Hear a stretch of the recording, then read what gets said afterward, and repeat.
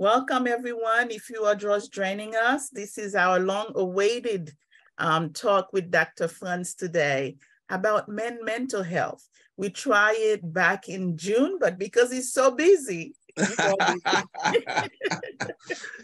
couldn't make it happen then, but I am so honored to have him with me today. Frantz is also my cousin, yes. I am so proud to, call, to call you my cousin, my mon compère too. That's. He's the godfather, Jamal's godfather, my first child. Um, I am so honored that you're giving me your time today. I'm so appreciative. Um, let's get started. We're gonna, I'm gonna introduce you formally. Mm-hmm. Um, let's see if I can share my screen. Welcome, Dr. Frantz. Um, Coach Irma present Let's Talk Men Mental Health. Welcome, Dr. Frantz Georges. Frantz Georges is a psychiatric nurse practitioner. Dr. Georges is a, like I said, is a psychiatric nurse practitioner born in Port-au-Prince, Haiti. He migrated to the US state, the United States in 1984. He completed his high school education upon graduation. He attended City College School of Nursing in New York, where he obtained his Bachelor's of Science in Nursing in 1982. You aging yourself, Mokope. 1992. Don't, don't 1992. yeah, I wanted to take a whole 10 years off. he began his nursing career at, as an RN at Interfaith Medical Center in Brooklyn. In 2002, he received his master's with a concentration in health administration from Central Michigan University. He was promoted to nurse practitioner, to nurse manager for two mental health units a few months after he receives his master's. That means he was a hard worker. Um, Dr. Georges worked in that capacity for two years, then relocated to Georgia in 2004. While in Georgia, he held several psych positions at numerous institutions and did home health care.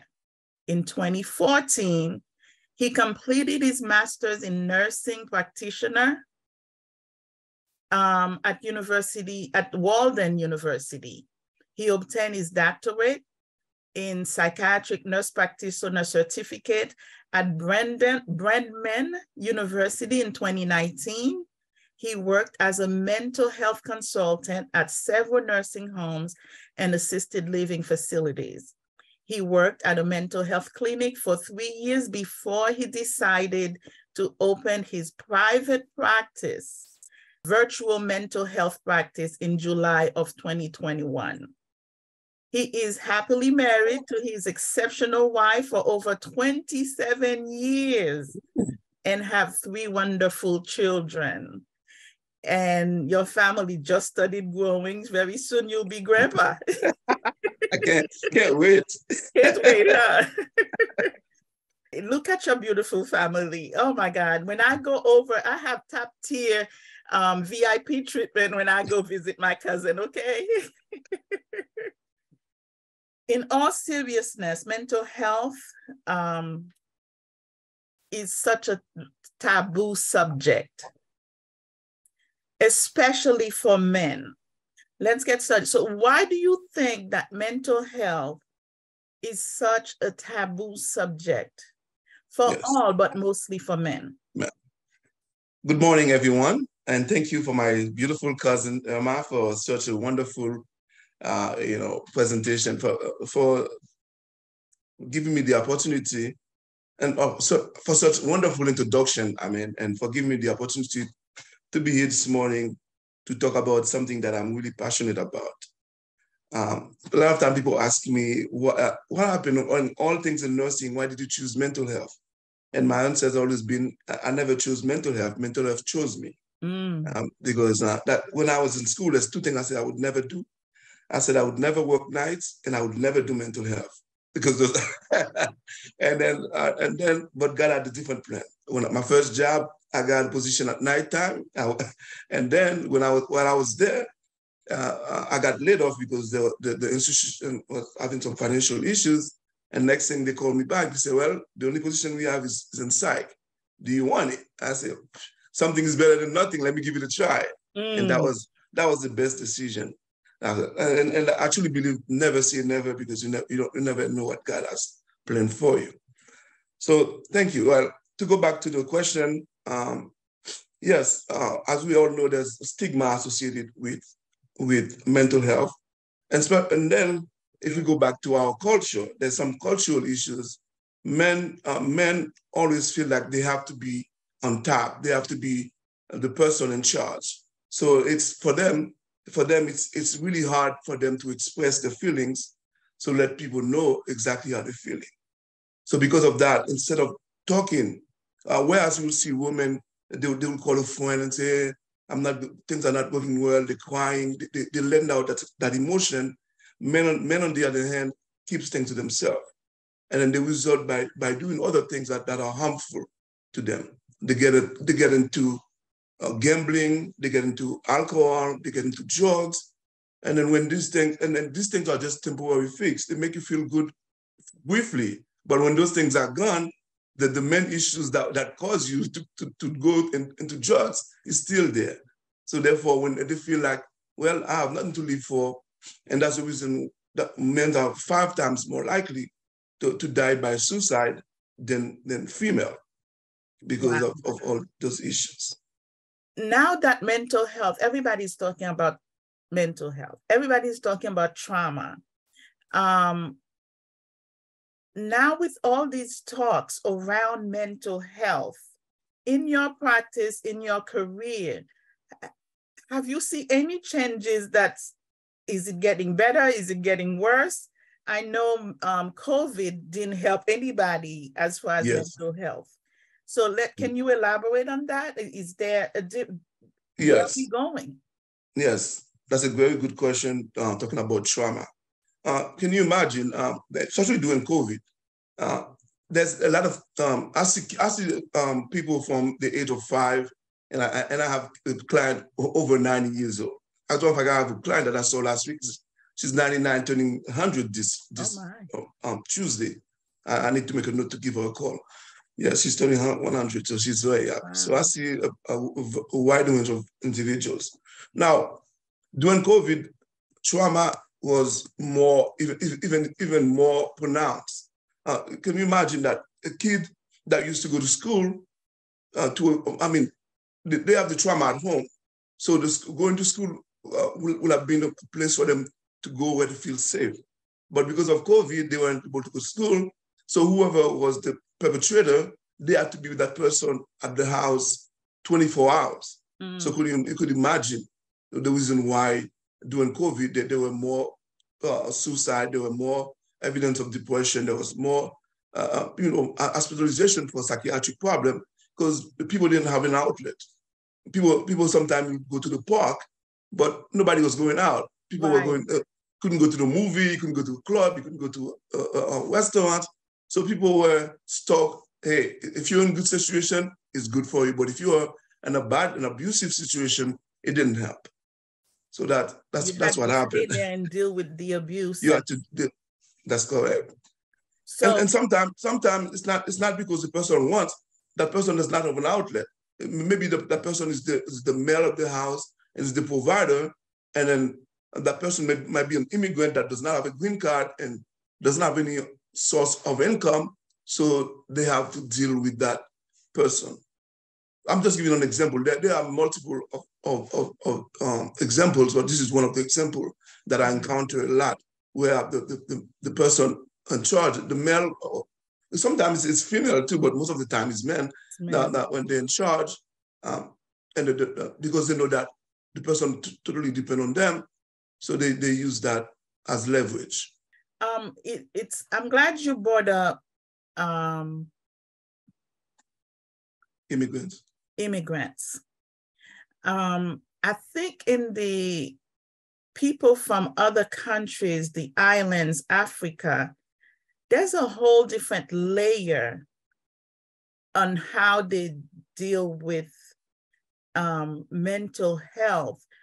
to a point where there's an African lady that I work with, and her daughter was going through some issues. And I remember her, she said to me, Irma, it's not just a medical thing.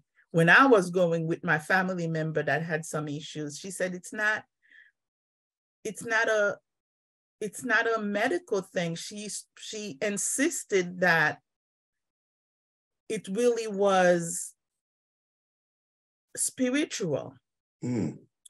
Um, she said when her daughter went through all this, at the end of it, she was she became like a psychic. Mm-hmm. And I've heard these stories before from different people. What is your take on that? Your as your profession, do they even look at that as a possibility? I also work for a mental health administration office where we have different program like peer peer support groups that mm-hmm. are dealing with these same things. So what are what is your take on that? Uh, well, well, um, um, culturally, um, you know, we as as as uh, you know African Americans or Black, as we say, um, mental health is the ta- is the taboo for us. We we don't. Uh, um, so, and Haiti, for for, for instance, um, unless you're going outside and throwing wax, you're not crazy. Mm-hmm. So, so a lot of people are dealing with a lot of emotions, a lot of things, but because we don't, because society in general, we don't, we don't know much about mental health. Uh, so, so we're not able to provide them with the type of support, like, like you just mentioned, the mm-hmm. peer support that you have. It's a good outlet. Uh, somebody comes in and they find a, a group of people that are dealing with the same situation, and they feel like, well, I'm not alone. But uh, when it comes to spiritual, uh, that's not that's outside of my realm. So I'm I'm not more comfortable talking about it because I do not know much mm. uh, how there might be a possibility, but that would be uh, I don't have any scientific background to elaborate on that. I appreciate that because I feel like the medical system doesn't that doesn't acknowledge it. Whether mm-hmm. that's a good thing or a bad thing, yeah, I, I, think it should be looked at. Looked at. Yeah. Yes. It's a good idea, but uh, but that but there, there are certain things that people have, and people think that well they have superpower. But there's something called uh, um, um, hallucination that I could be I, I could be sitting next to you, and or you could be sitting over there, and I'm talking, and then you said, Frantz, who are you talking to? But Frantz is having a total conversation with another person that nobody else. A whole bunch of people possibly. yeah, a bunch of people. I'm having, a, I'm laughing. I'm thinking, saying, what, what's going on? Why is Frantz laughing? You don't know, but Frantz is having a total conversation with a total different stranger that nobody else can see. So in that case, people might think, oh, they have superpower, but it's actually something called hallucination, which is, uh, you know, part of schizophrenia, part, some people bipolar. Sometimes uh, there's two types of bipolar. There's depressive and there's this there's a, a manic phase when the people are on the manic phase sometimes. And sometimes substance abuse. When, people use too much drugs, sometimes it affects their brain and makes them hallucinate. For my elderly patients, some of them have uh, UTI, urinary tract infection. And when they have the urinary tract infection, it interferes with the mental health and they start saying mm-hmm. things and people think, oh, what's going on? is it voodoo or is it supernatural? but it actually is, uh, it's actually some chemical imbalances that, that's going on with the person at that time. Whether whether there, there might be some other things involved, uh, there, there haven't been any study done to prove that yet. Uh-huh. The, the, the possibility, like you said, the possibility might be there, might exist. I mean, uh, maybe that, that, that maybe uh, Coach Irma might do some research and find out that and become a multi-millionaire, who knows? um, I just thought it was funny because even in the church, um, I had a pastor who said, um, when people are hallucinating like this, they just need to stop talking to the spirit. Nah.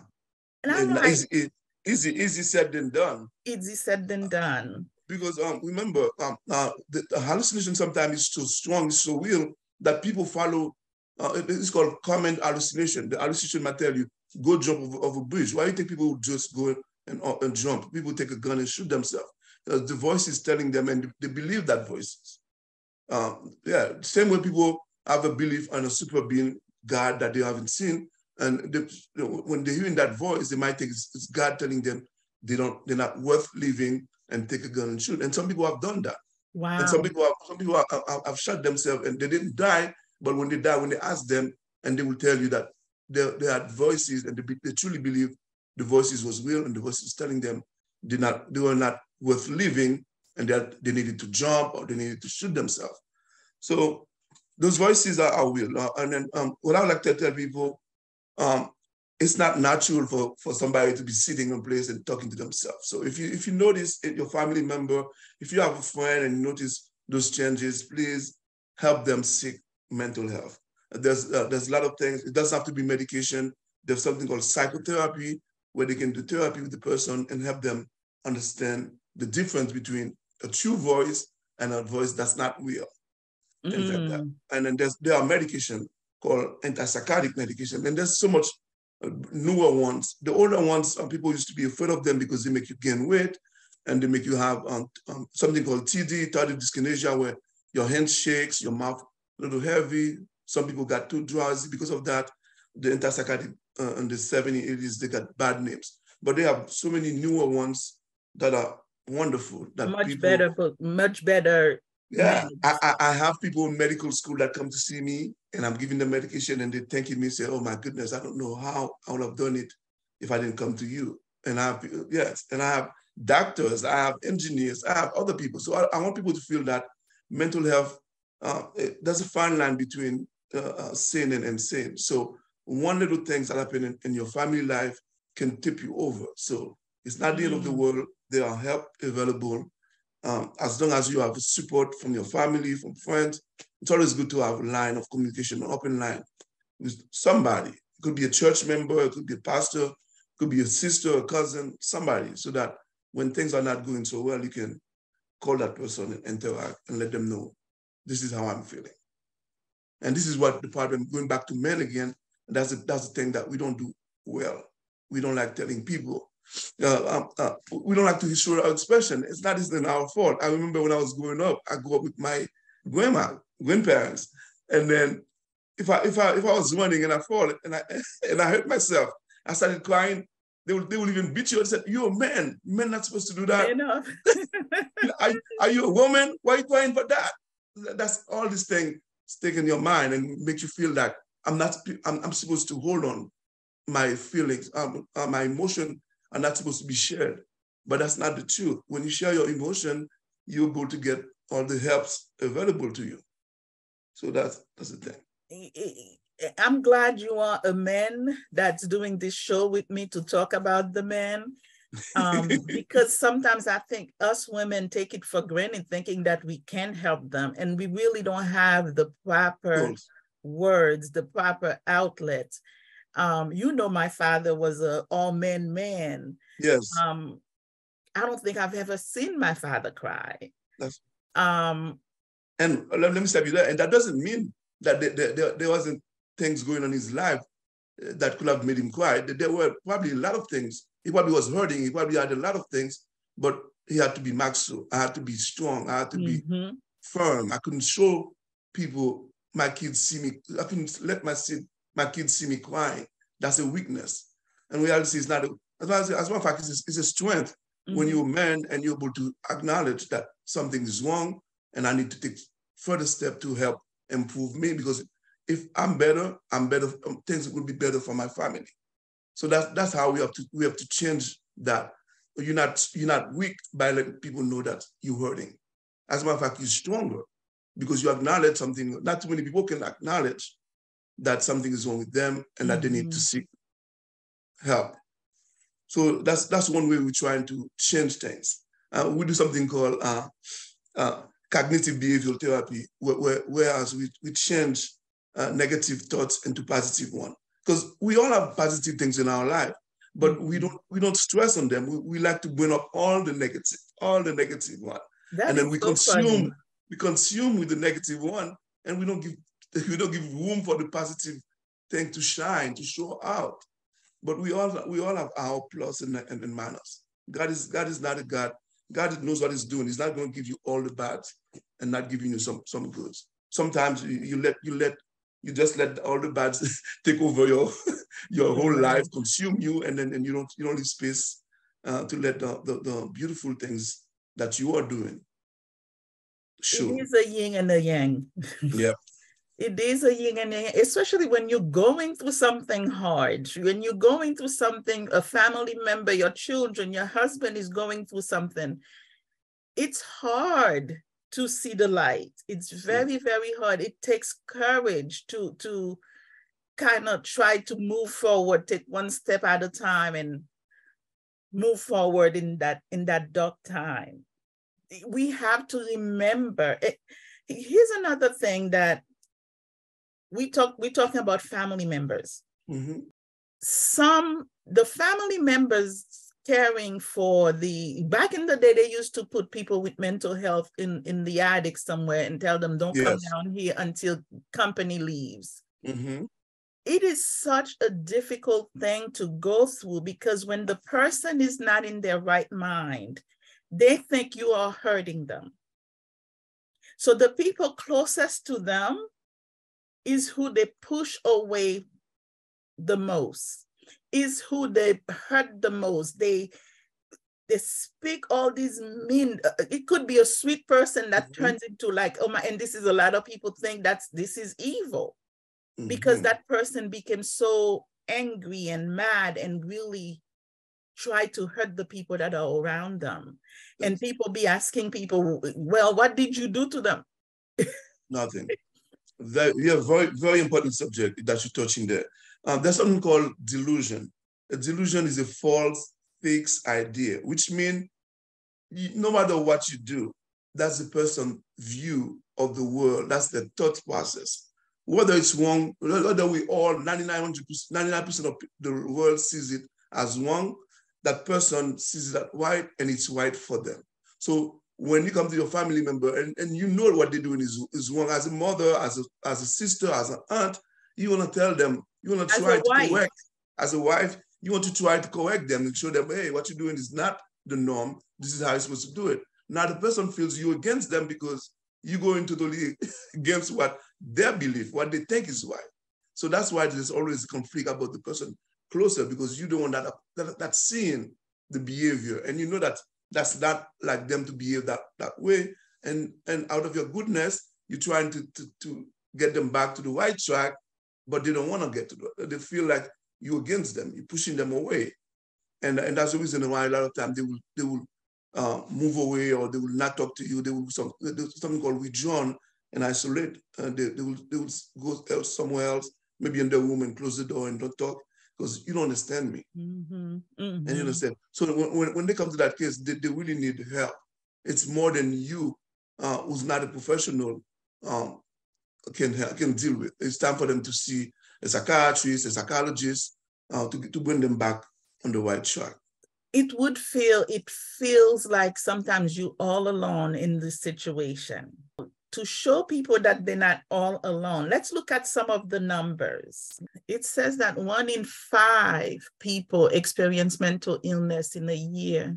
Mm-hmm. Men of color are at greater risk why is men of color at a greater risk?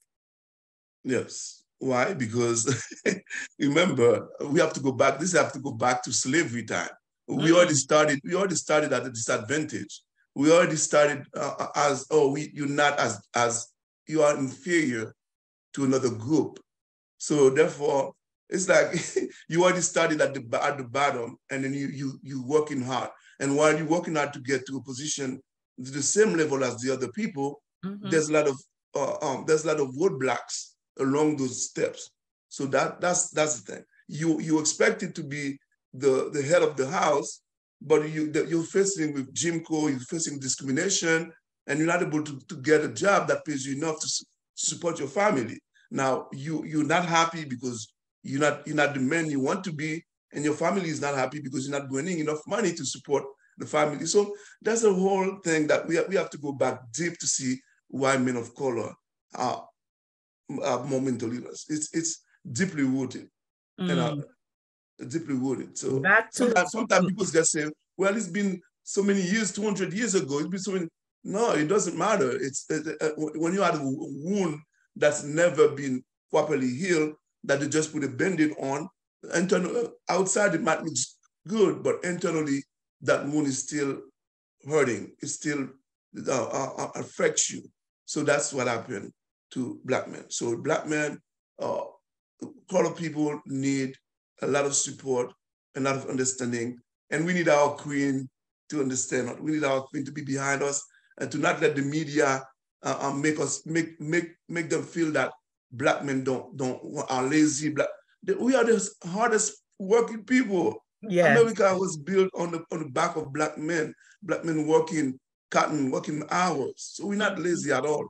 Don't let that narrative fool you. We are very strong. So we need support. We need people to understand us. Yes, uh, things might be hard, but no man, believe you me, uh, if, if we had a choice, a man would rather go out there and work and, and, and, and, and, and be seen by his family as being supportive, as being a provider. So don't let the narrative that uh, oh, black men are lazy, they just want to lay down. That's not the truth. We, we, we, we started at a, at a, we started at a disadvantage and we're trying our best to catch up. Yeah, and we, we thrive. We continue to That's thrive. Right. That's yes. right. That is um, Do you think the Black women, do you think that we have the tools the to support our Black men? Um, mm-hmm. considering, mm-hmm. considering they wouldn't even open up to you. You don't know how to help. What would what advice would you give us, the brother, the sisters, the wives, the what advice do you give to us? Because we don't we don't know yes. where we going with this. well, uh, all I can say is that uh, um, the thing is, uh, the funny thing is, uh, if you look at it now, black women, if you look at the educational system, the most when you go to college and stuff like that, or uh, taking a, a doctorate degree or master's degrees, most of the classroom is female. Black women are, are very educated. Um, uh, now that can be seen as a, as a threat to the men because I'm supposed to be the person in, in charge. I'm supposed to have the highest education, but meanwhile, a lot of our, our brothers are, are in jail. A lot of them go to war and things like that. So there are more female available to to attend college, mm -hmm. and females are, are now are now getting uh, made to be in a position of being on top because money talks. Uh, I mean, we all know that money, mm -hmm. money is the is important that to have money. Uh, so if you have money, you can influence a lot of changes. So a lot of times when the when the black woman has money, for the most part, a lot of time, not I'm not generalizing the whole thing, mm -hmm. but to a man, a lot of time a man might be afraid of approaching a successful woman well, well, well, if they had approached a woman, the woman probably would have opened up to them. But because they know, oh, she's a lawyer, uh, well, it's not going to go with me. I, I, don't have anything in my hand. I don't have any paper. so that, that pushes a lot of, of us. But it's not the woman's fault. So maybe the women have to do their own thing to see what can we do to, to be more inviting, to let because our brothers we, do that. A lot of us are single. A yes, uh, yeah, especially with all the changes now men, men, men and female, men, they want to be called they, them. so there's a lot of you know transgender and queer and a lot of these things. So yes, I feel bad for my sisters. well, and that's the reality. A lot of black men are in jail. Some of them are homosexual and, and things like that. So it, it, it, it reduces the pool of the, those that are available. And That's true. We're not forgetting a lot of some of them are on drugs, homelessness, so there's a slew of things that are happening. Well, I'm asking my, our sisters to be a little bit more inviting. Let don't um, don't don't make it. I mean, make us feel comfortable so that we can approach approach you no matter what level you are. I'm not saying that because if you're a lawyer, you should go out with somebody that's very poor, right. but but make, make, make it seem so that you are you are available and you could talk to them. That's great advice. That's great advice. Yes. Um, we have a lot of work to do in our community, that's for sure.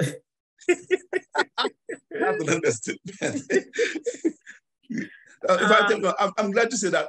Let me tell you, I've been in practice two and a half years. Mm-hmm. I, I, I've yet to have a Haitian person in my practice. and, and then my practice is full. All I'm seeing is I'm seeing Caucasian, I'm seeing a lot of Asian, Indian. I'm seeing because those people understand what it means to seek help. Take care of your mental yeah, state. That's right. And, I, and when I tell my patient is that if you have diabetes, wouldn't you go see a doctor so that they can give you some medical insulin, uh, some something to, to lower down your blood sugar? If you have high blood pressure, wouldn't you go down go, go see a doctor to give you antihypertensive medication to lower your blood pressure so that you don't have a heart attack or stroke? Yes. I said, then why, if you if you have depression, you don't want to come see me, or you want to come see a psychiatrist or a, a psychologist? Why? Uh, see, that's the question because people don't they, they don't put the, the, mental health as priority. They, if they have um, the medical, oh, they'll go and, and get the help. But right. if it's mental health, um, I can deal with it. They, they try to do it on their own, mm-hmm. and sometimes you can, but a lot, a lot of times, um, if that problem is not, if not, if the issue is not taken care of properly, um, it's gonna come back and back. It's gonna be like a circle going back around. You do, you do. At some point, you need to, to break that, that chain, that circle. Right and get right back on track. before COVID, I remember going to the doctor and I was very, very surprised that the doc, my primary care asked me, how is your mental health? How are you feeling emotionally, mentally? Wow. And they was really stressing on that. I'm like, what's going on? Do you think something's wrong with me? well, that, that, you have a good primary care because it's taking this time to do it. But a lot of time primary care don't have time to do that. So that's very good that it's huh. taking that. It's taking time to, to answer that question because he know he understands. Uh, because your mental health affects your whole being.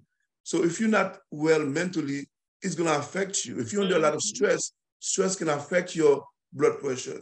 Stress can make your diabetes worse. Stress can make your uh, social life environment worse. So I was grateful for that. I was grateful because that was when, right before my life was gonna flip upside down. Um, I think she asked me, Are you sleeping well? Mm. That was a major thing for me. With menopause, yes, you you there's your body's going out of whack. You the don't know what's changes. going on with you. You sad, you upset yes. for no reason. So, and I think maybe it's because of my age. She knew that I mm-hmm. was going to face all this.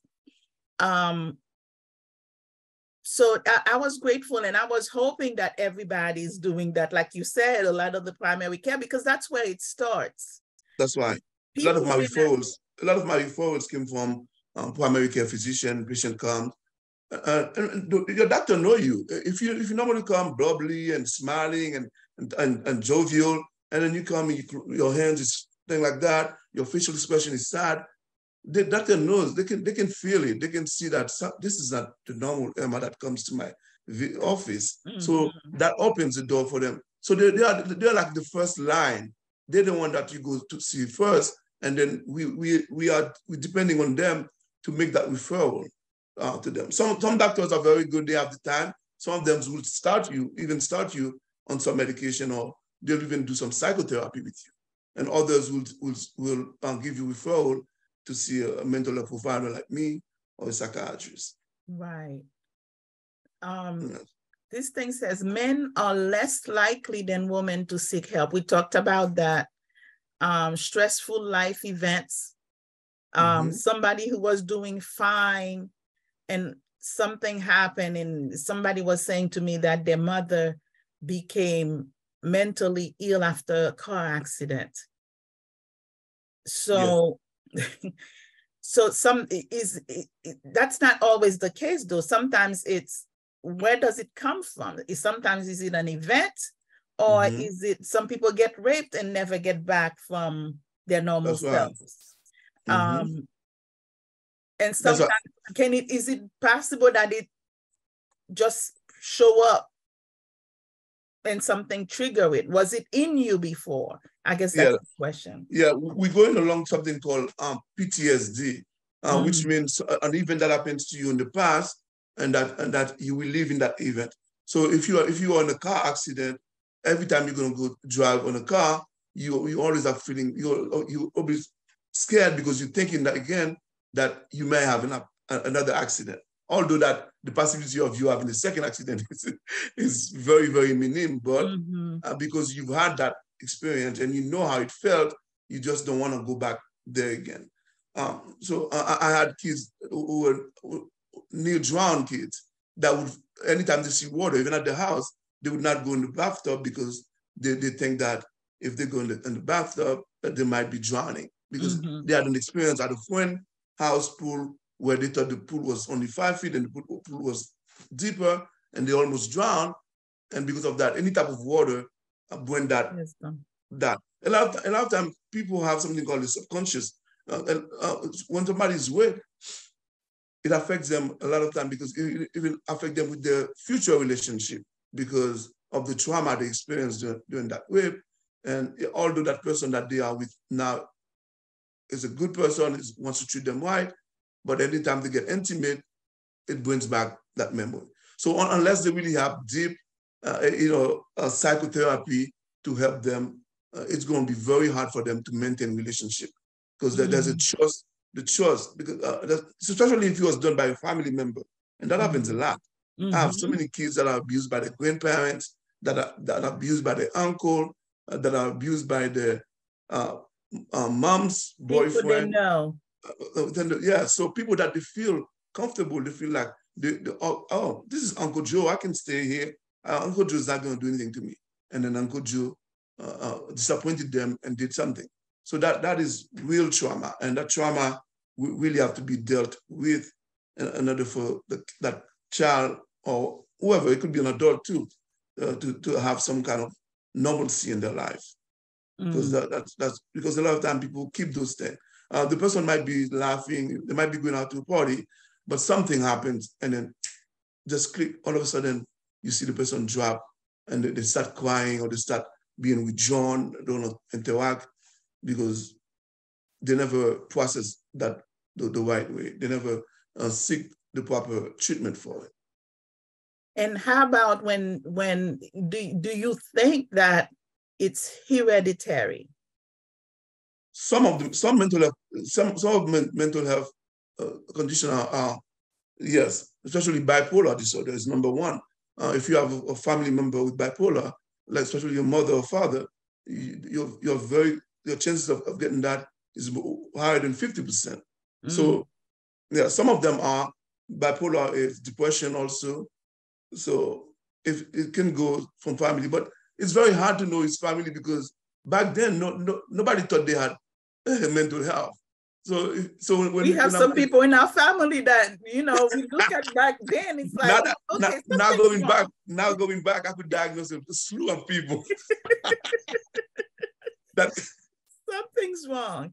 Yeah, that, that, that, that the behavior that they were displaying were not uh, the norms, but hey, so that's what happened. So a lot of times, that's the reason why when you do an initial assessment, you ask all this question about family members. Are there anybody in the family that is, that is suffering the same thing? Uh, and then we say, oh yeah, my mom used to do that, or my dad used to do that, something like that. So yes, there is some part of it is uh, part of the there is you know biological. Other part is also the, your lifestyle, uh, substance abuse, drugs, alcohol, things like that. The environment that you were with, a lot, all of these things uh, um, make who you who you are. Cultural uh, things. There are certain things that you know in, in our culture that we think is, is good, but when you go outside and people say, "Wow, what is that?" So that, it's, it's, always good to understand, to ask people. I, I ask my patient all the time, how do they do it in your country? And what is considered? Is that considered a norm? Because you might say that's that's unusual for somebody to be dressed in that way or putting all this makeup on. But for them, it's it's, a, it's, it's beauty. So we have to, oh, that's that's what this. So if they see it as beauty and it doesn't interfere with them, you leave them alone. You, you know, you're not going to try to change who the person yeah. is. Yeah, you try to help them get back to the right track. It, it, the goal is not to cure them or to fix them. It's not, a lot of time in mental health, a lot of the mental health diseases, there's no cure for them. There's things you give to help the person function in society. And, and, and, and, and they have to be consistent.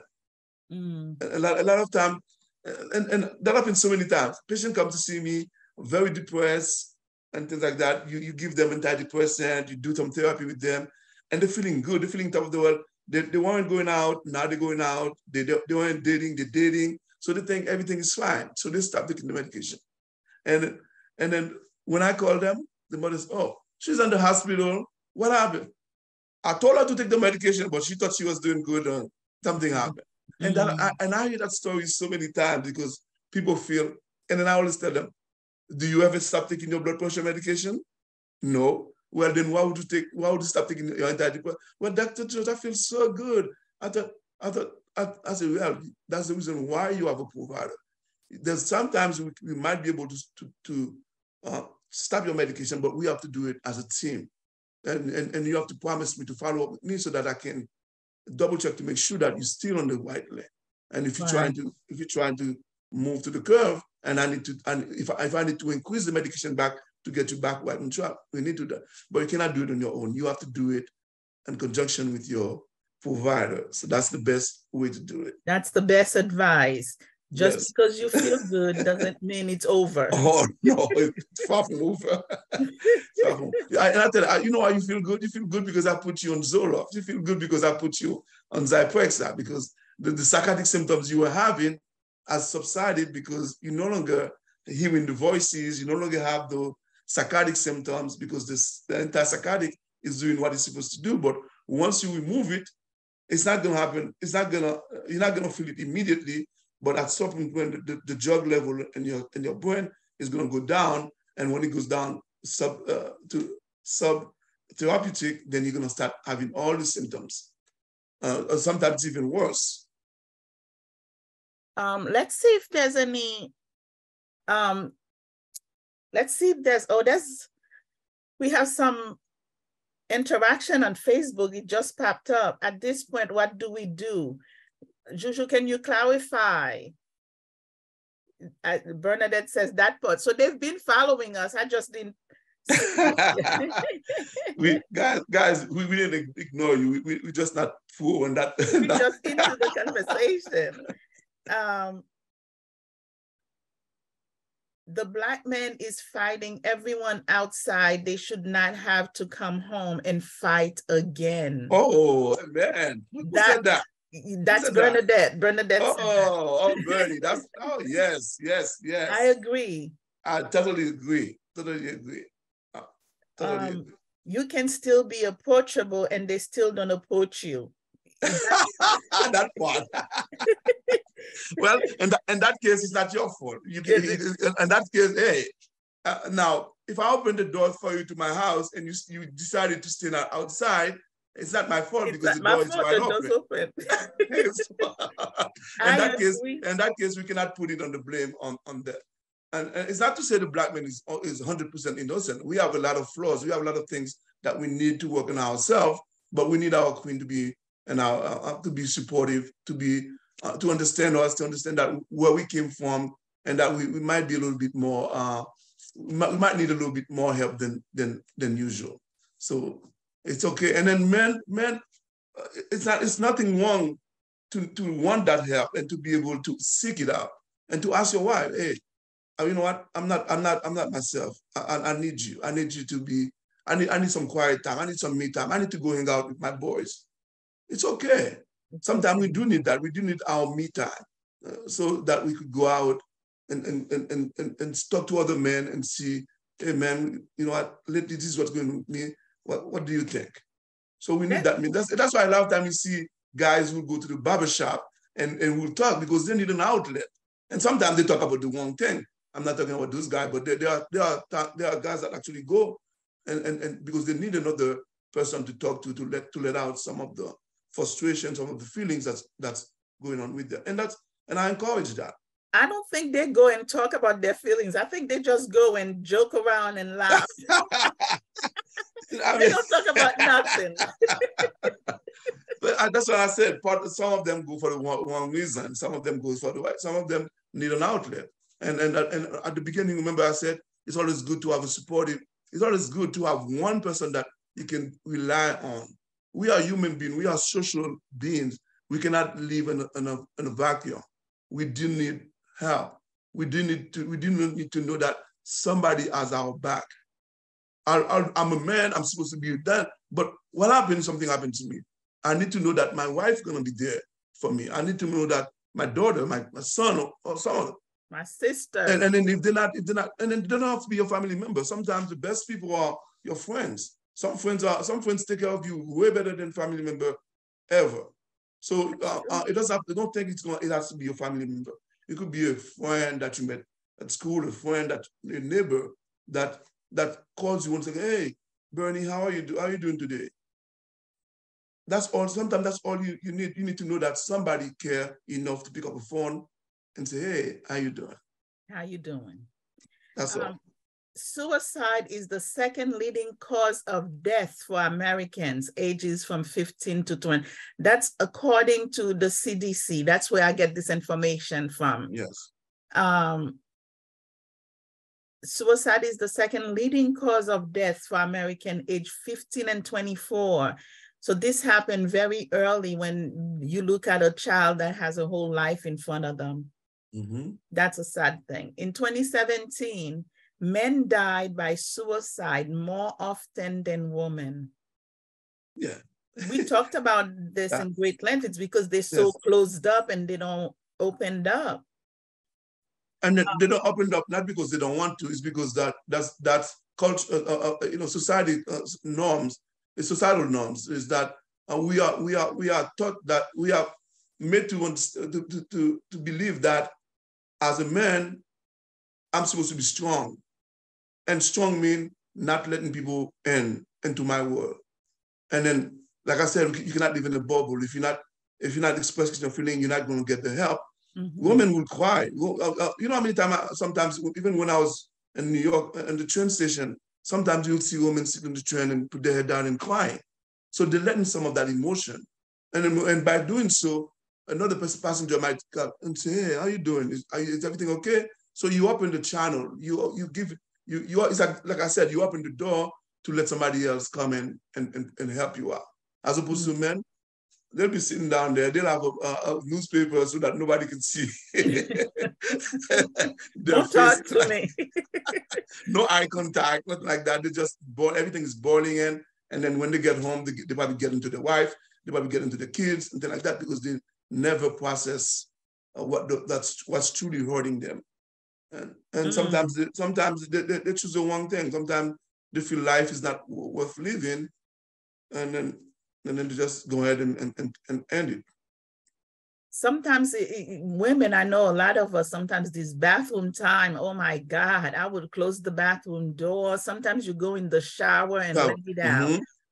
Yes. Um, I'm, I, I pray that men can feel the same thing. And, and if you can't talk to anybody, just give yourself the space, the grace to be upset with whatever situation is. And and so you can be you can let it go because until you deal with the feeling it's going to keep coming back. That's right.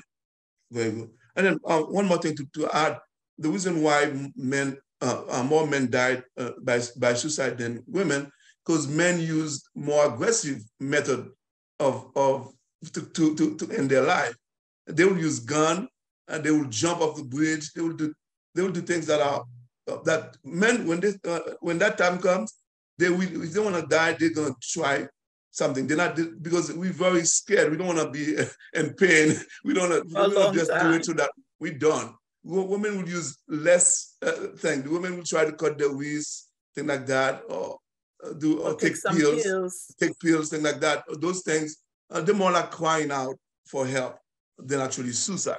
Although, although it depends on the, uh, how deep you cut uh, if you if you cut it deep enough, and then you and then there's nobody there to help block uh, that artery or vein, you, you at some point you're gonna you know blood you're gonna die.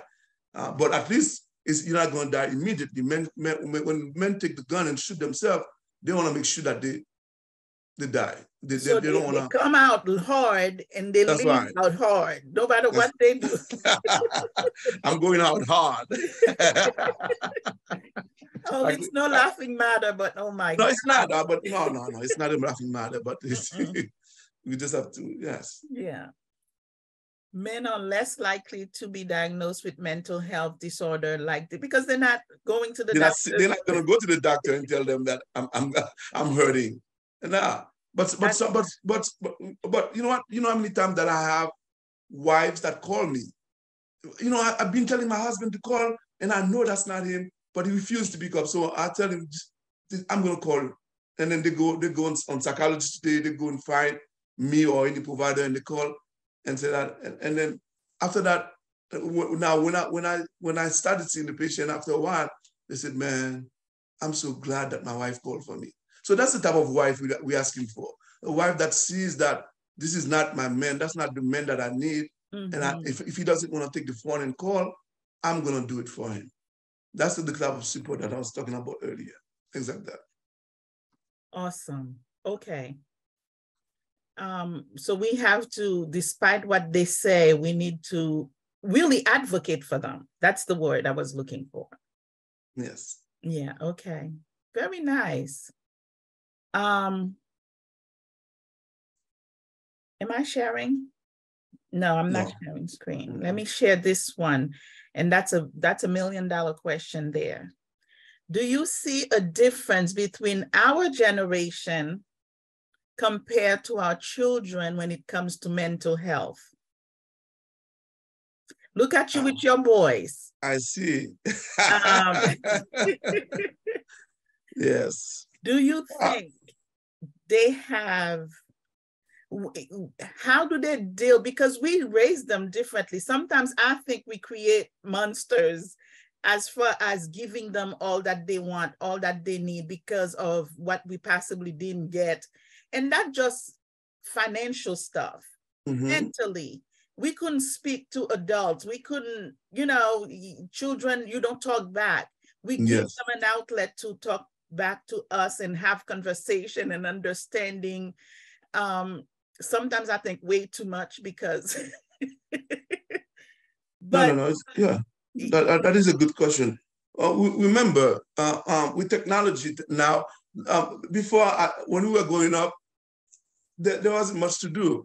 Because of that we spent a lot of time outside in the sun. We playing we, we were more like social beings. We, we seek out other other kids to play around with. But now with social media, with all the games, video games, like that, I feel like it's, taken away from the uh, from from the attachment that we once used to have as, as a family, the, the, the bonding that we used to have. I, I feel that because of um, um, techno- technological advances, uh, we are not as strong as, as a family as we once were. Because before we had no choice. The kids had to sit down at the table and talk. Now now, now you sitting on the table, everybody's on the cell phone, they, they, they, they're doing that. And I have to say, hey, we only we don't see each other every time. This is the time that we sit, that's our time. Please uh, take all the phone and leave it up front. This is the time for us to talk. But not too many families do that. Not too many families are able to do that. Because a lot of times, uh, if, if the mother is working 12 hours, the father is working, you know, eight, 12 hours too. So the kids are left alone. So, uh, so, so uh, uh, um, the computer, this iPhone, is really what them. parenting is waiting our kids. So uh, while uh, while uh, it's to the second uh, two different generation, but each one has their own issues going on. Now, in terms of in terms of um, the mental health, I think they have a head start because when I was growing up, if something was bothering me, I couldn't go to my mother. What, what, what would I say to my mother? And what would she tell me? She would say, I sit down the corner, go in that corner, go somewhere else with that. But now my kids can come to me. Why? Because they know that that's what I do. Uh, and if, if they have something bothering them, they can come to me. And they have. Um, was going some, to, uh, to some issue with his fiance and stuff like that. And when he was going to, he was uh, that was a dark period for him. He came to me and we sat down as men and I let him see uh, things and try to help them work it out. At the end, it didn't work out, but at least he came out and then we tried to make things out work out. As opposed to before, we would not, I would not have given him. Uh, kids, kids would not have come to, to, to, to their parents and talk about what's going on. So uh, now I think the, uh, the line of communication is more open. Between, yeah, it's, it's more open between uh, parents and kids and stuff like that. Although although they may not use it, but it, it's it's it's like the, the open door scenario I explained. it's available. They, they know that. They know that. And then we and then plus we have the educational background uh, to to to explain to them why.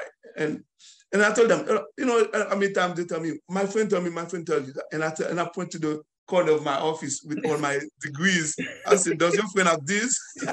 I said, I'm giving you advice for free that, that people are, I'm charging people two, three hundred dollars for. And then you tell me your friend. Uh, does your friend have their own business where they can I said, well, don't tell me about your friend, okay? Listen down here and listen and get some good advice. that is so nice. Marie Vernon says, how to implement mental health in school as early as middle school. Yes. Well, well, the, well they do have uh, a lot of this program in school. The, the, the major, uh, the, the major thing that I, I have with school is that a lot of ADHD is the number one issue that I deal uh, with that age group because um, there, a lot of them have problem. They're not able to sit still in class. They, they're all over the place. A lot of time I, I get principals calling me, teachers calling me, please help, help, help, because we do everything we can. But the school also have something called IEP where they have uh, uh, they have a program for kids that are that are not able uh, or who has mental who's mentally challenged. They will provide them with some kind of uh, uh, helper, a person that will come and sit with them in the class and like that. But with budget cuts, a lot, a lot of these programs are you know winding down. So, but the school is, is doing that. And remember, uh, depression started at an early age. So the teenage years when you when when you feel like you, you don't fit in, um, when you're not. Some kids are coming with Jordan. Your parents is poor. Your parent cannot buy you Jordan, so you start feeling different, or you're not. You know, you feel left out. So there's a lot of things going on around that time. So we I do receive a lot of calls from the school. I do see a lot of kids, those um that age group, and we try to do. I try to do the best. I'm not a psychotherapist. Uh, I, I, try to do uh, minimal therapy with them because that's not my line. My line is mostly medication management, and and and the best way to deal with those kids is a combination of the two, uh, where they do the therapy and and do the the medication. Reason being is because therapy is not going to increase your serotonin. It's not going to increase the dopamine. It's not going to increase the the if if, the, if you have low dopamine, that's what the cause of your depression. Uh, therapy is not going to solve that. So you do need medication to help boost back your uh, dopamine. So I try to let people understand uh, um, the, why it's important to have the, the, the two of them. But the school, the school, the school, for the most part, at least here in Georgia, they are equipped. They do have uh, nursing at the school that uh, if the kids that doesn't feel why they will go to the nursing uh, station, they will see the nurse, and the nurse, a lot of times the nurse will make referral if it's, if it's something that they're not able to handle. If the, the kids need psychiatric assistance, they will talk to the parent, and then I'll, I'll, they, they, they, will send a referral to me, then I'll call the parent, and we set up a virtual meeting like we're doing now, and then uh, and then we talk, and then uh, sometimes I tell them, Let, let's, let's do psychotherapy first, let's give it a couple of weeks of psychotherapy and see how the kids respond. If not, then we, we talk about, uh, you know, psychotropic medication uh, to help them deal with whatever emotions. so these kids that are getting this help, do you think, I'm sure it, it, they will get better and do better um, in life because they, they knew there was a problem and they offered them help early on. Here's a question Bernadette has that seemed very it's a great question. I have a friend who's going through this with a young son and he isn't communicating with his parents. What do you recommend a course of action should be? That's the hardest. When, when the person is not communicating, when the person is not opening up, the, the first sign of the first uh, sign that the person is willing to get treatment is acknowledging that something is wrong. So when you're not talking, you, you make it very, very hard because this is this is this is not in Haiti or this this is not on the island where you could just take a, something and say whoever should talk. No, yeah. this is something that where you the person has to be ready. America, uh, um, um, there's a fine line between abuse. The person might call and say, well, my parents are abusing me because my, my parents are forcing me to do something. So in that case, you just have to wait, wait, wait, uh, wait and see approach. Uh, because at some point when the kids seeing that things are not going well and for um, for a long time, then at some point they, they're gonna eventually start opening up or and and, and kids there's always uh, if, if it may not be the mother but they may have a good friend. They may have it may be the neighbor that they open with. Find out who else has influence on your child and then you go, go through that channel. It doesn't always have to come through mom and dad. It could be a friend outside there that they, they, they're close with and that friend probably knows more about what's going on with the kids than you because they don't want to tell you uh, a lot of times they don't want to tell you because they don't want to hurt you. They, they said, Mom already is working hard. Mom already has all the problem. Or little Johnny is already giving mom enough trouble. I don't want to be the other one giving her more. She has enough on her plate. So, but but not not communicating makes it very hard because uh, we cannot force uh, mental health on a kid. We cannot we cannot force treatment on a kid. We have to be understand. Uh, the mother has to uh, uh, keep on encouraging. A lot of time, uh, if it's depression, you, uh, make make them feel that I'm there for you. I'm your mom. I love you. Say it, it, it it's not enough if you say I, I, love you to your kids a million times. Although they don't want to hear it, say it because they want to feel it. They want to see, know that they, I'm human. I'm mm-hmm. important. A lot, of time, a lot of time, kids will come and tell me, Dr. Georges, the reason I'm acting like that because I feel numb. Mm-hmm. I say, mm. elaborate. What do you? I don't feel anything. They call me and said, my grandma my grandpa died in Puerto Rico, and I, it didn't bother me.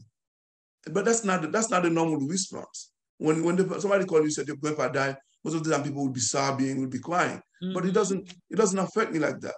So they they are really numb. When they, and, and then that's the part that's very difficult. When they're numb like that, that's when they can do anything because mm-hmm. they don't have awareness. They don't have the self conscious to think, oh, my action could hurt other people. So at that point, you have to be very careful, uh, closely monitor them. If they're sitting in their room all the time, once in a while, go pop the door and talk to them and say, hey, I'm here. Remember, I'm your mom. I'm always available to, to talk. Come and talk to me. But, but, but doing that, show them you care, but it's also give you a time to go and make sure that they're not doing anything else in there. Because if they have weapons, if they have uh, uh, uh knives, something like that, they can be doing self-harming. So frequent visit to their womb, especially when they're not talking, is very, very important. Removing things from the house that can be potential weapons, also important. It's very hard because you, you, you don't want to hide away all your knives and stuff like that. Mm-hmm. But when you have when you're dealing with the kids like that, uh, sometimes you do have to take measures. Precaution, yes. Yeah, to help them. Um, do you think um, because what I it therapy I guess by the time they get to you, it's really getting them stabilized. But when you first see the sign, maybe even understand the sign because sometimes the signs are there, but you don't know what they are. You might think the kids is, you know, going to menopause or for, That's right. for teenager, no. I'm sorry, going no. through um, um, um, the period, hormonal changes. Right. So you don't get them. So would you say it's good to have to normalize therapy in your family? If people goes to a divorce, sometimes they go to therapy with the family, with the kids. Yeah. But unless something happened, we don't go seek therapy. Yes. Uh, well, let me tell you, you cannot give what you don't what you don't have. You cannot give what you don't know. Uh, it's not like something that was taught to us when we were growing up in Haiti. Did we know about therapy? No. No. Uh, when we, it's, it's all about culture. It's, it's what. But that's why that's why most of my patients are Caucasians because you know why they believe in seeking help for themselves. They, see, they, they believe that hey, if I don't do anything else, things don't get worse. I'd rather go and see the doctor and get and, and deal with it what here and there. And why, why do they, they, do that? Because as they were growing up, that's what they saw their parents do. When things weren't going well, they saw their parents went to this uh, uh, to the uh, psychiatrist or to the uh, uh, psychologist and seek help. So when you bring your kids to that, you normalize it that way because it's oh, mom and dad used to do it. It's no biggie. Mm-hmm. But when your kids never able to that, when when the kids know how society views mental health, it's very hard for, for the kids to, to want to go and see that. And that's why when, the first thing I tell them when they come to, to, my meeting, I said, by law, you are protected. Whatever information that we talk discuss today is not going to go anywhere, and I can lose my license if I don't protect your your. As unless you or your parents go and tell people, nobody should, would know. So that makes them that appears that makes them feel comfortable. Oh, oh, no. At least my my my my my secret are, are safe. my nobody gonna know. I said you're not walking around with a big thing in your forehead saying you have depression, you have bipolar. Unless you, you tell people, they won't know. I have a lot of people that are in college that are in working. I even have nurses that are working that are bipolar. Once they take the medication to stabilize, you could you could live a, a full life with mental health is that people need to know that that they can live happily. You could have you could have a successful life with mental um, illness. Men, with mental illness if taking the proper step to take care of it. And I think if we normalize it at a very young age, because you know, I often talk to my boys, Jamal, and you take them to the dentist. I started taking them to the dentist two, three years old um, going to their med, um, primaries all the time, but therapy wasn't part of the deal. Mm-hmm. So I can look at Jamal with a cigarette in his hand. I said, you know what? You're making your teeth that I pay all this money for yellow. but I don't have nothing to come back to say, well, we did do therapy for a little bit as a group, but mm-hmm. it is mm-hmm. so important. I would love to see us to come to a place where we take regular visits with our children in therapy because I think that would help them for the rest of their lives. Yes. Remember, that's good.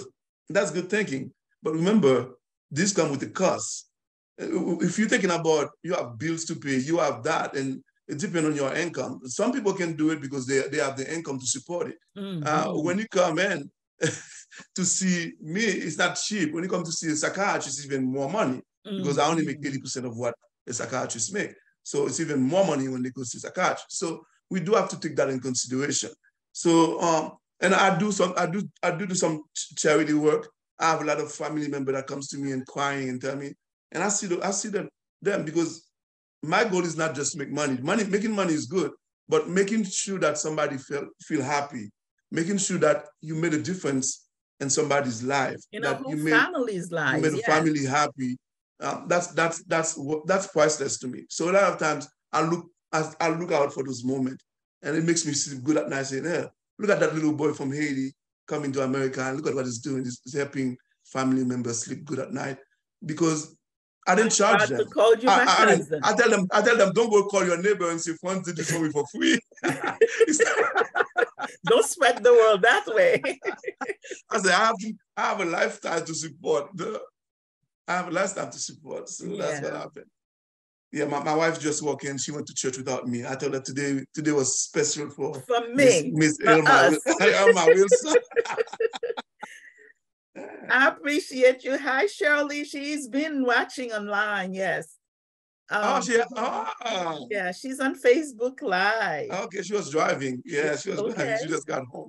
All right. Yes.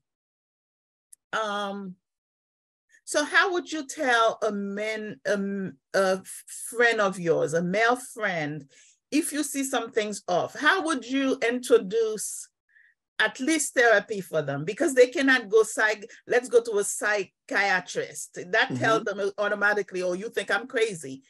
How would you ent- pull them in without the stigma?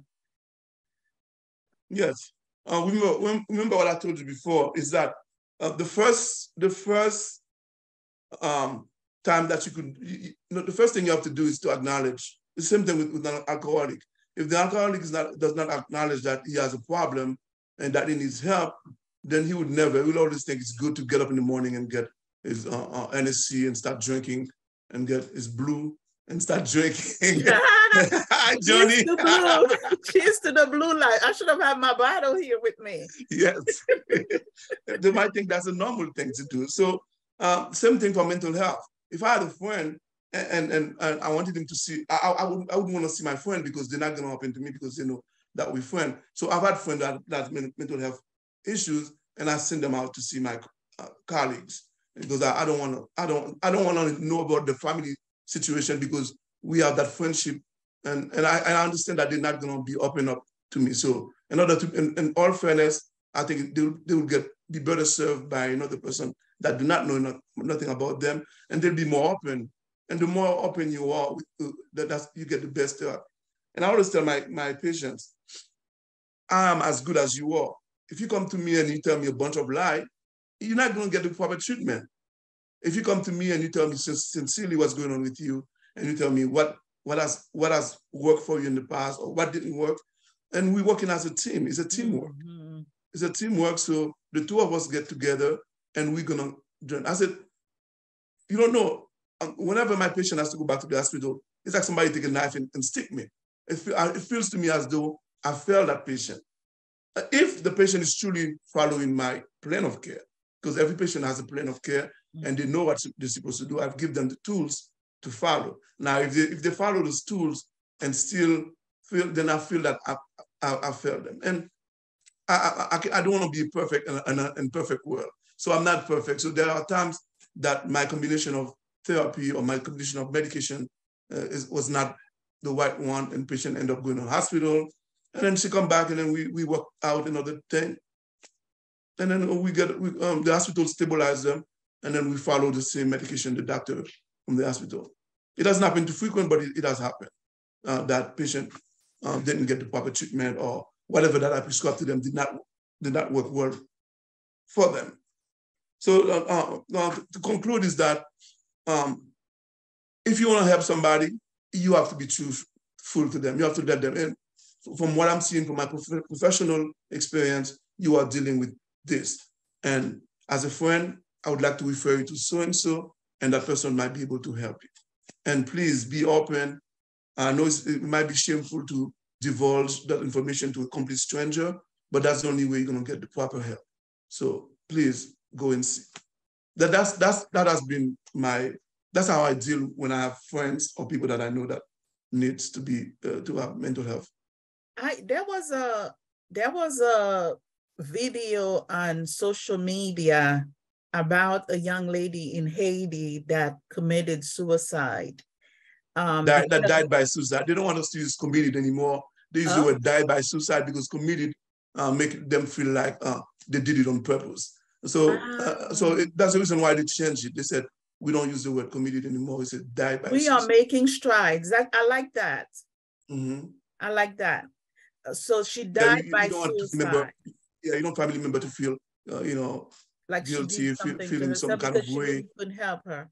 So mm-hmm. okay, well, this one she supposedly it was because of a boyfriend that broke up with her, and you know our people took on Facebook and tore her down. What's wrong with you? There's so many men out there. mm. I would be um yes.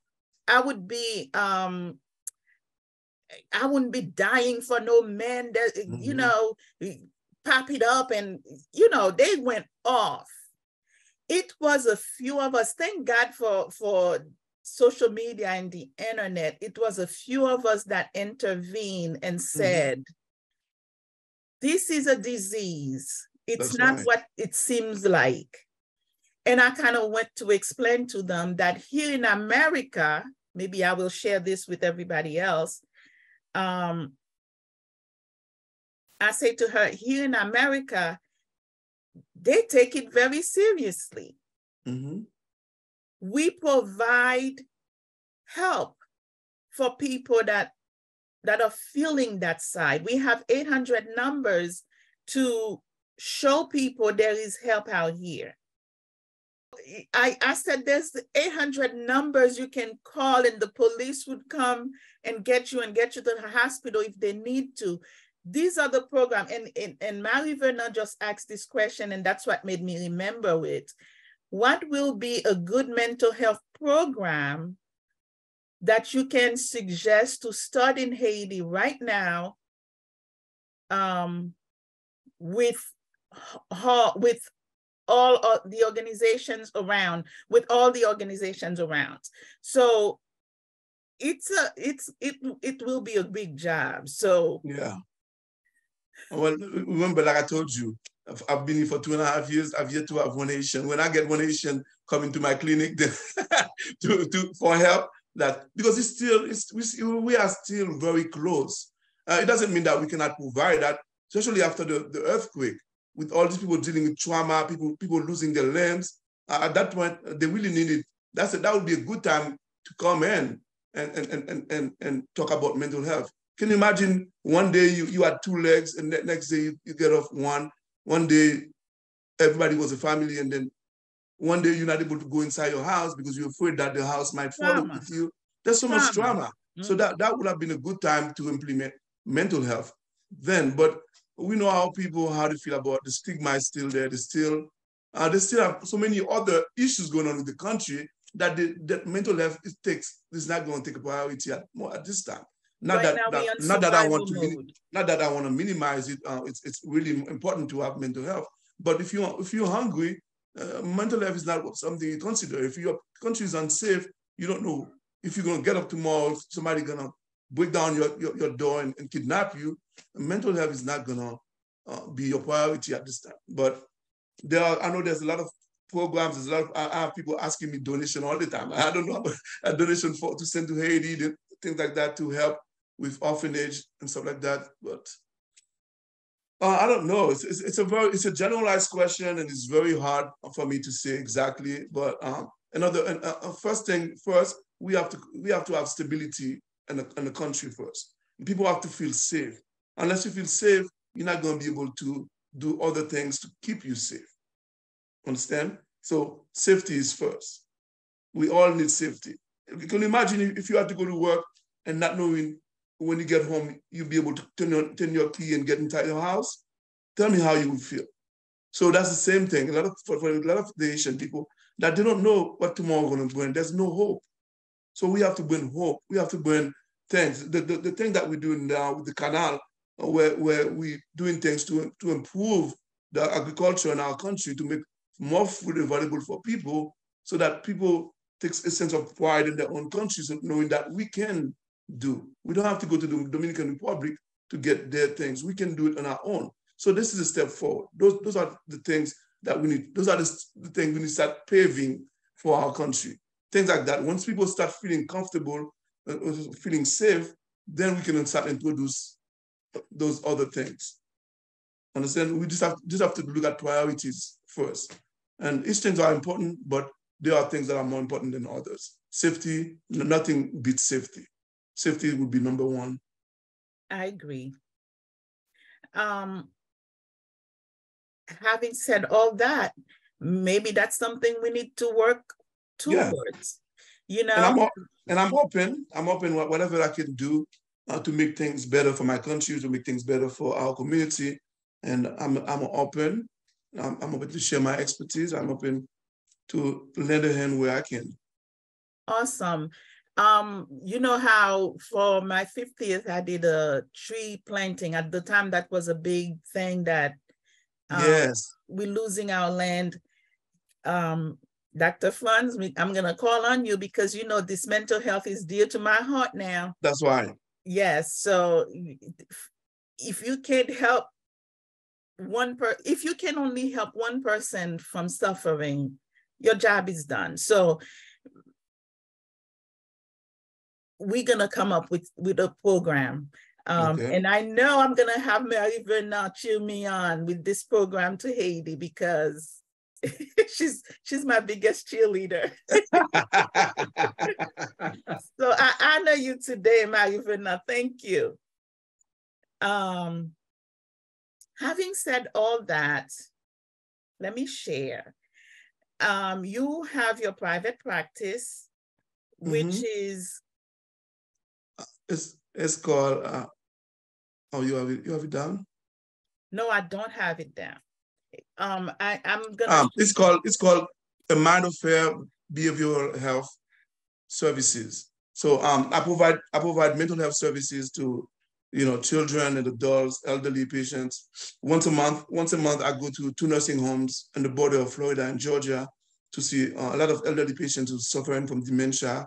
Uh, a lot of them de depressed. Can you imagine you used to live in your beautiful house and your husband passed away, so your kids are working, you can't let, you can't be left in the house, so you end up in nursing home, and so a, lot of depression, a lot of guilt feeling, a lot of you know anger, so I go, I go there once a month. And now they're asking me to try to come two times, two times a month, but I'm so busy. And every time I go there, I have to, I have to fly to Jacksonville and then get, get in my car and, and, and spend two, three days there. The hospital provide me with a, with a place to stay. Uh, that's good, but um, it's good. I mean, they look forward to see me when I come there once a month. Uh, now they're trying to see if I can come every other week. So what's and the name of the practice?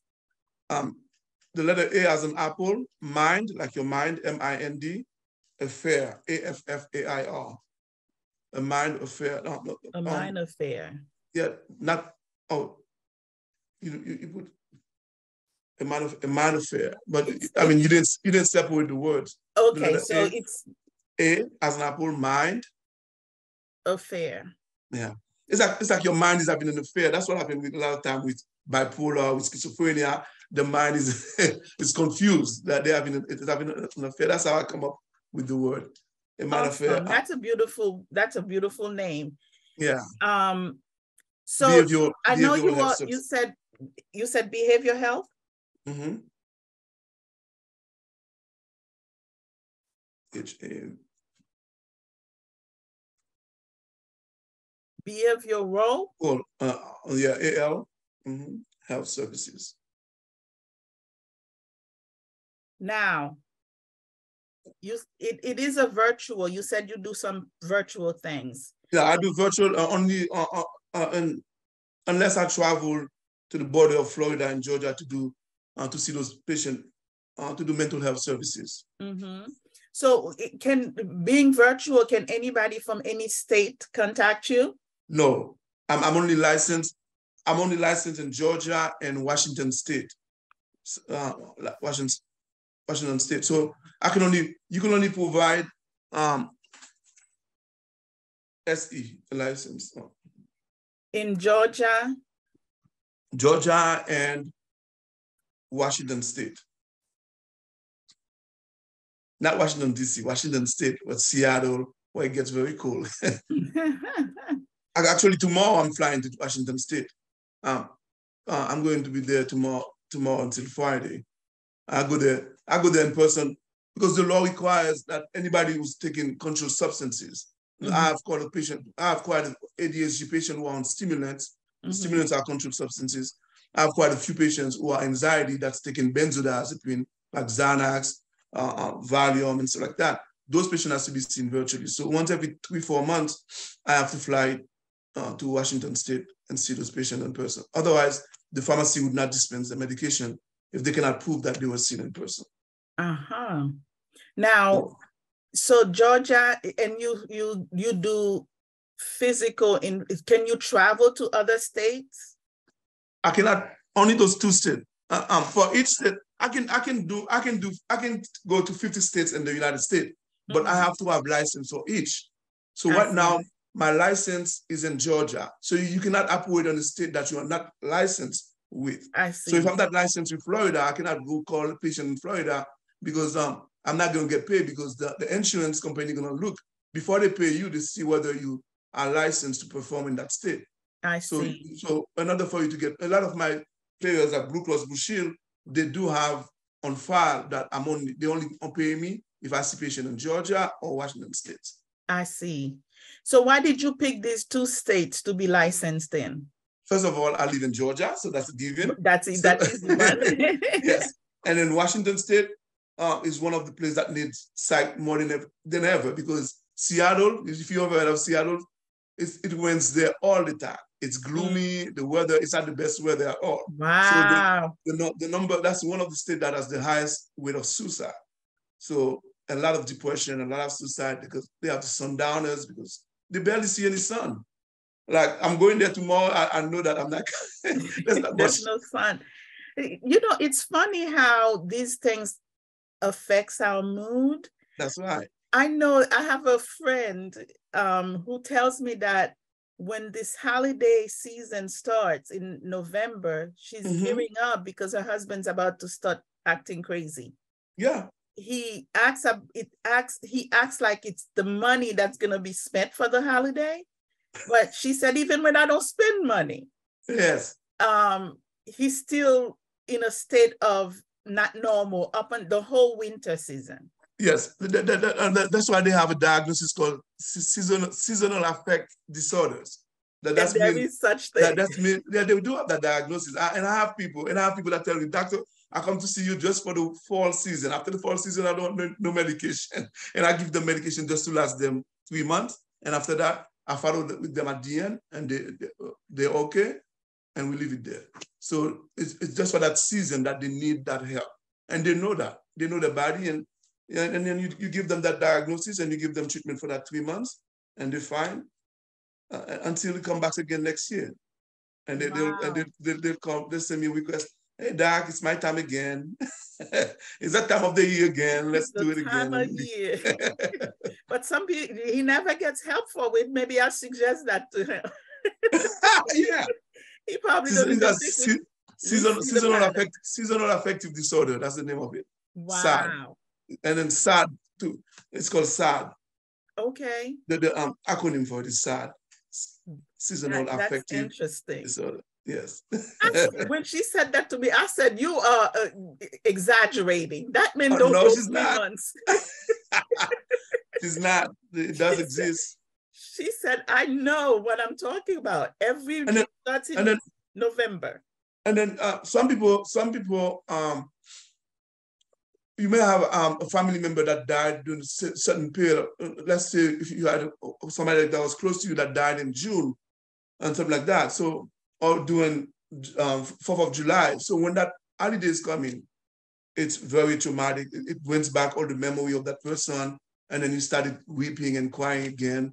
And some people do go into deep depression uh, when, when, when the loved one passed away and the, the, the anniversary is coming up things like that, or special occasion that reminds them of that loved one that, that has moved on uh, can affect them. And not all the time that they do need uh, medication for that. A lot of times they do psychotherapy. Mm -hmm. and then you, you just show them, you just go back and talk about all the positive things that the person did in their life and for them to start, you know, hold on to those and, and let let the passing, because the passing away, there's nothing you can do about it. But the, the things that that you would need to hold on is the things that you guys did, the, the, the trip you took to Paris, uh, the, the other things, the long distance drive you did to Florida, things like that. Mm-hmm. We talk about things like that. And, as, and then you, you, you could see how the facial expression start changing because you're talking, you, you're making them see, oh, yes, we did do that. We did do things like that. So that's that's what therapy do. Therapy make, makes bring you back and makes you feel that yes, the person is gone, but this is the things that we did and those things were beautiful, wonderful. And then if we can, if we if we can live that in your mind instead of the, the passing away, that See makes that you feel life better. is still worth living. That, you still can right. make memories and um, I love the study of positive psychology because I felt like it doesn't go to the bad things. It just focus on what's working on your life right now. That's right. That's that's um, correct. And, and, and then that's that's our problem with human beings. We could have, we could have so much so much blessing in our life, but one things go wrong. That's we let that one thing to. consume us and not and not and not thank God for all the other blessing, for all the all the good stuff that are happening in our lives. So and that's why when something happened to me, my father said, Why are you never mad? You never I said, I'm so blessed. Whenever I'm, i I want to be mad, I think where, where I came from. But that's that's when you were in Haiti, you you were you were the goofiest. you were the goofiest cousin of all, and I have that's right. online. Can you attest to that? So Juju, oh please you. don't get don't don't get Juju on me now. um, find the good. Bernadette said it makes no sense. Seasonal affective disorder. That's Dr. Joanne Drendas. Oh, hello, um, Dr. Joanne. that's your friend from Haiti. yeah. That's how she's doing good stuff, good things in Pennsylvania. Yes, she's doing wonderful things always. Um, yes. So I say all that I, I know you're busy. You probably don't need no more um no more patience, but I I hope one day you expand your licenses and and cover us statewide so that I can. no, but uh, no, but in all fairness, um, New York, New Jersey, Pennsylvania, uh, I mean, they are. Uh, when you look at, um, you could go online and Google and you see how many the number of, of practitioners in each state, and then you'll see there's a lot of um, practitioners that so you guys are well covered. You are you guys have a lot of things. So the so but, I try to go I try to go to inner I, I, try to go to inner cities to the places where it's very difficult for them to get mental health uh, ah. services. Uh, I try to tag, target those places. But now those two places are, are enough for me. Uh, if I get another place, then I'll have to hire another NP um, to do that. But I'm not to that point yet. Um, okay. Yes. Well, but, I uh, appreciate you. Um, those who are in Washington State and Georgia, you can continue to call him. Leave some time for me when I need to talk to him and have a live session again. yeah, um, um, um, you can put my um, email information. It's info like information. Info. Mm-hmm. Mm-hmm. At um, a mind affair. A mind affair. Dot com. His his email, his his his email. Mm-hmm. that was a tongue tie. Info um, at the. So that's why that's why that's how patient gets to me. So yeah, that's good. Okay, so anybody that from there, I, I make it bigger so everybody can see it better. Mm-hmm. Um, that's the first step to send an email if yes. you need help. Okay. Um, one thing, um, uh, a while ago you give the number, the 800 number, but um, a lot of time people may not remember that 800 number, mm-hmm. but there's the 911. 911 is always is universal. If you need help, you call 911. Somebody can come and help you. You are not people. I want people to know that they are not alone. That they can always get help. And there's, there's, there's also the suicide line that new number 988. They can also call 988 where they can also get uh, um, somebody online to talk to them and see. They, they do like a triage and see uh-huh. whether they, they need further assistance. So 988. Yes. They, yeah, 911 is, they can call 911, they'll always get help or they'll call 988. Okay. Let me put 988 back here. Mm-hmm. So call 911. It's the simplest, most easiest that everybody yes. remembers. Mm-hmm.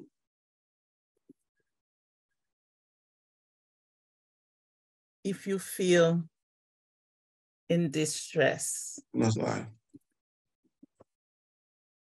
Um, and there's different local crisis units that you can call. These are good information to have um, in your county where you live, in your borough yes. when you live where you live. All these information are online. If you go to Pennsylvania, you put the section you live, if it's Upper Darby, if it's Darby yes. Township, Philadelphia, all the cities has crisis help, all kinds of things. My organization are training police officers to have them make the dif- to differentiate from criminal calls and mental health and mental health call because that seemed to be to have been a big issue. They put everybody in prison in jail. Meanwhile, the person needs um, mental. That's health. that's that's if they're lucky. Yeah, a lot of them they get shot too because the police is afraid. Uh, a person coming out with you uh, with a, with a knife and things like that, they are taught to just shoot. But now now they're doing better. I'm, I'm, a lot of police department are training them when if it's if it's a mental health situation that they need to evaluate situation before pulling the trigger. See that? Yeah. yeah. Yeah. So, so that's so, that, whatever what you guys do, is very important. Um, training them uh, to you know to assess the situation before uh, yeah. making a decision to shoot somebody. The CIT training they call it. Um, okay, so nine eight eight is uh is for suicide. Yes.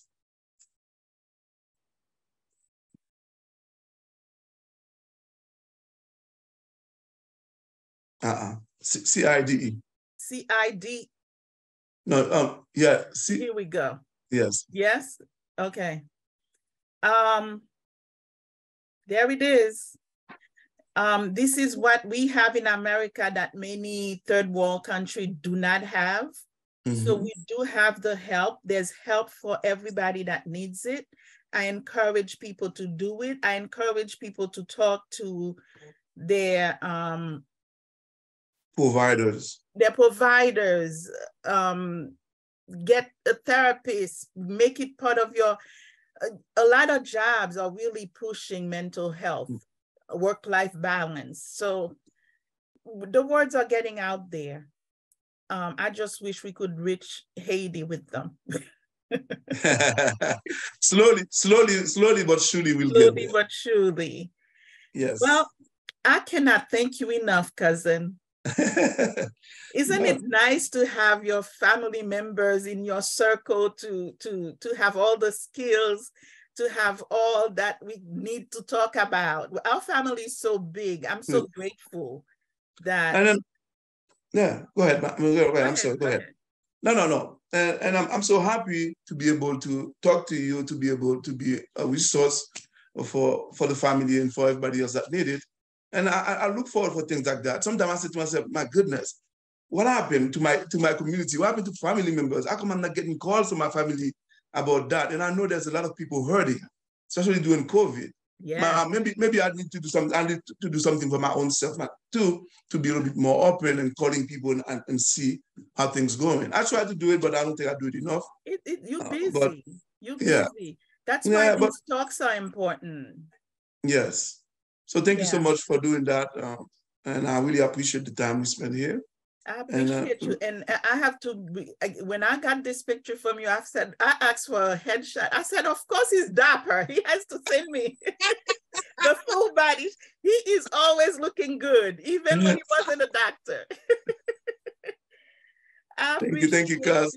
Thank you, thank you, cuz. Thank you for everybody that took time out of the busy Sunday morning to join us live. Juju, Mama, uh, um, Bernie, and Marie, thanks so much. If, there is a, if, if I forgot anybody else, I'm sorry. I'm not able to see Dr. who else is watching. Yes. And, and, and thanks so for those beautiful questions. They were very thoughtful questions. And I hope I did my best to answer them to the best of my knowledge. Yes, and, and I know if I if I didn't help a million people on our, on social media because I will flood social media with it. Um, you know the youtube this is good information to I, i'm i'm so grateful for social media. I'm so grateful for the way things are going. We don't have to wait for a producer to produce a song a, a, a show for us. We can put the word out there. Um, we have no bounds. Anybody can watch it from anywhere in the world. So i'm grateful for that Yes, social, social media is wonderful when it's when it's when it's used for the when it's used, when it's used properly. Yes. It, it, it, also destroyed a lot of lives. So I, I, we, we, have, we have to keep that into perspective. That's true. That's true. that is true. yes, yes, but yes. I'm grateful. Thank you so much for your time. I love you. Hope I love you too. Thank you so much, everybody. Happy Sunday. Enjoy the rest of the day and I look forward to going. He has a mention in. I remember when I told Juju I went to Fun's house. He is rich. You should see his house. Can't wait to get to Georgia to get my VIP treatment. I'm not rich. I'm blessed. You blessed. yes.